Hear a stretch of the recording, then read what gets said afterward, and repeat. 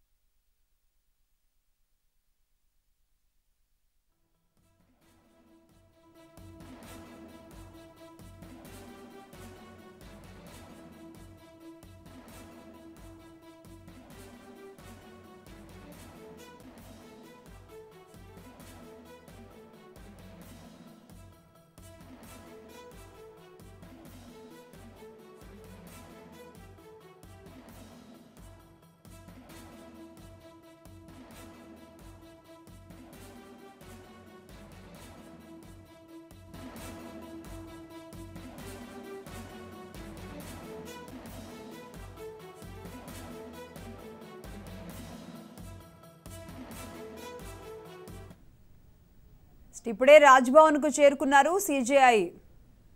రమణ సీజేఐకు గవర్నర్ తమిళిసై అలాగే సీఎం కేసీఆర్ ఘన స్వాగతం పలికారు.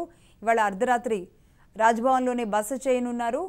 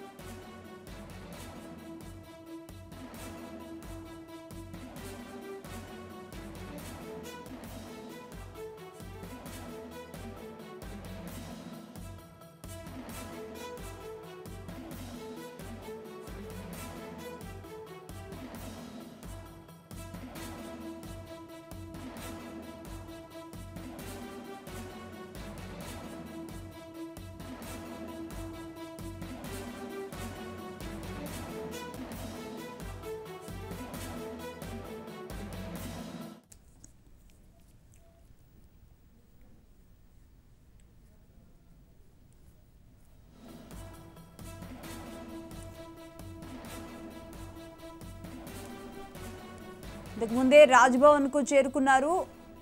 CJI N V Ramana. సిజేఐకు గవర్నర్ తమిళిసై అలాగే సీఎం కేసీఆర్ కూడా ఘన స్వాగతం పలికిన దృశ్యాలు మనం స్క్రీన్ మీద చూస్తున్నాం. సతీ సమేతంగా ఎన్వి రమణ హైదరాబాద్ చేరుకున్నారు. ఆయన తిరుమల వెంకటేశ్వర స్వామిని దర్శనం చేసుకున్న తర్వాత అక్కడి నుంచి నేరుగా హైదరాబాద్కు రావడం జరిగింది. అంటే సీజేగా ప్రమాణ స్వీకారం చేయడానికి ముందుగా ఒకసారి తిరుమల తిరుపతి దేవస్థానంకు వచ్చిన రమణ దర్శనం చేసుకొని వెళ్ళారు. ఆ తర్వాత మళ్ళీ రెండవసారి రావడం ప్రమాణ స్వీకారం చేసిన తరువాత సీజేఐగా బాధ్యతలు తీసుకున్న తర్వాత ఒక తెలుగువారు అందరూ కూడా గర్వించే విధంగా ఈరోజు సుప్రీంకోర్టు ప్రధాన న్యాయమూర్తిగా బాధ్యతలు తీసుకున్న ఎన్వి రమణ ఈరోజు హైదరాబాద్లో అడుగుపెట్టడం జరిగింది. ఆయన ఈరోజు ఇక్కడే బస చేస్తారు రాజ్భవన్లోనే బస చేస్తారు. దీనికి సీజేఐకి గవర్నర్ తమిళిసైతో పాటుగా సీఎం కేసీఆర్ కూడా స్వాగతం పలికారు. ఇక తెలంగాణ సీజే కూడా అక్కడికి చేరుకున్నారు. తెలంగాణ సీజేకి కూడా పుష్పగుచ్చాలు ఇచ్చారు. ఇటు సీఎం కేసీఆర్ అలాగే తమిళిసై సతీ సమేతంగా చేరుకున్న ఎన్వి రమణని సాదర స్వాగతంతో ఆహ్వానించారు. రాజ్భవన్లోకి చేరుకున్నారు.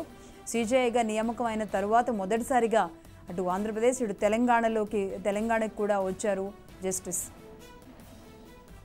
ఎన్వి రమణ. శంషాబాద్ ఎయిర్పోర్ట్లో కూడా ఆయన ఘన స్వాగతం పలికింది. అసలు ముందుగా స్వాగతం పలికే దాంట్లో కేటీఆర్ ముందుగా వస్తారనుకున్నారు బట్ ఇక్కడ కేసీఆర్ ఇక్కడ రాజ్భవన్ దగ్గరికి వచ్చి ఆయనకి స్వాగతం పలికిన విజువల్స్ మనం చూస్తున్నాం. ఇవాళ రాత్రికి సీజేఐ ఇక్కడే విడిది చేస్తారు.